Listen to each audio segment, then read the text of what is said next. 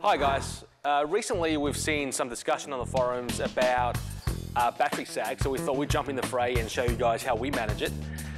Now, for those of you who are not too familiar with battery sag, um, it's basically the, the drop in the voltage of the battery pack when it's subject to a load. Now, if, more, if you want more details, I can put the links in the description to people who have described this a lot better than what I have. So uh, go check it out. So the most critical thing about a battery sag is if your pack is already you know, below, in, close to empty, for example, and you request a lot of power from it, then potentially the voltage can drop to below the safe sort of cutoff, the low voltage cutoff. And in the case that you have a battery management system, a BMS, it could cause the battery pack to completely cut power. And so if you're riding a board, it can just cut out. Or if you don't have a BMS, then even, you know, it's not very good for the battery. It can drop below the, uh, the low voltage cutoff and potentially permanently damage your pack. Today we're going to do two tests, one on bench and one going out uh, riding. So to start off, we have our battery. We're going to use our smaller pack, so the, the, the worst case scenario, so to speak, for SAG. This is about 550 uh, watt hours. This is our custom made good old battery pack. Now this is capable of drawing up to about uh, 10 kilowatts and we put the fans there because otherwise the surface is hot enough to fry an egg.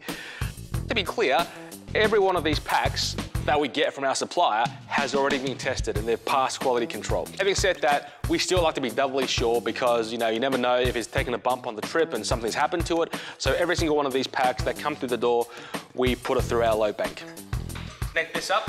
Yeah, so here we have our battery, we have our load.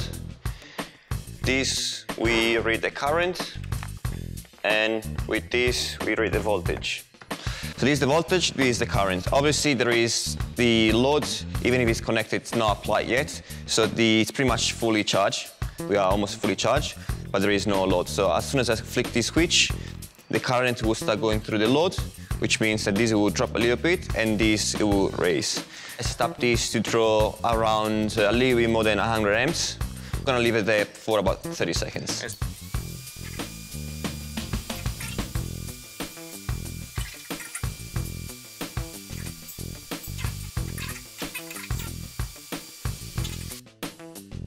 There we go, that's about yeah, leave it here. however long it is. So now slowly the voltage will go back, as you can see. It's uh, restoring to uh, whatever charge left uh, there is. Give us some sort of point of reference, cruising around at a steady speed of 20 k's an hour, I think you're only ever drawing about 10 amps thereabouts. So, you know, highly unlikely you're going to ever need 100 amps or even more for a continuous period like that. So now we're going to show a uh, slightly better case scenario at about 50 amps.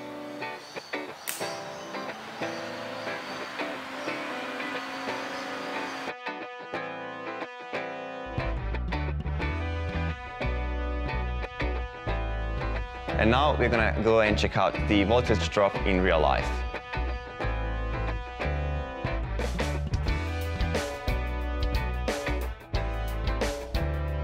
We are gonna go up this hill, starting from this point.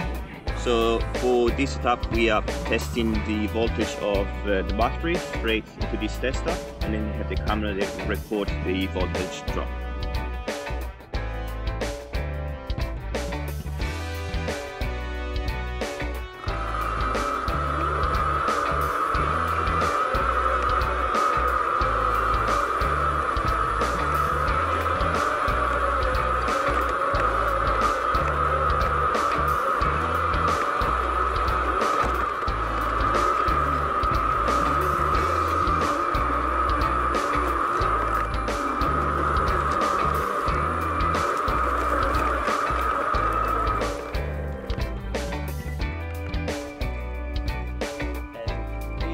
How it's done.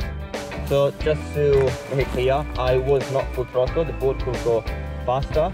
It was just very hard to balance and going faster. But if so you're able... 50-60% throttle? I would say yeah, roughly around 50%.